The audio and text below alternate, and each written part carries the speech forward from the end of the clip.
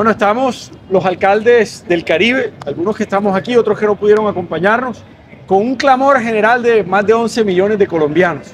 que nos sentimos tratados de manera inequitativa por el resto del país, porque hoy estamos pagando una factura de energía eléctrica en nuestros hogares, en nuestros comercios, en nuestras industrias, más alta que el resto del país, por decisiones ajenas a la región. Y es por eso que le estamos nuevamente reiterando y pidiendo a nuestros legisladores, al gobierno nacional, que incluyan una partida y un, eh, artículo en el Plan de Desarrollo Nacional para que se pueda financiar de manera temporal las pérdidas generadas por las malas redes o las deficientes redes energéticas en el Caribe colombiano. Es una partida que debe durar entre 3 y 4 años, que debe tener no más de 2 billones de pesos al año y que de esa manera podamos conjurar este problema y todos los colombianos podamos gozar de un beneficio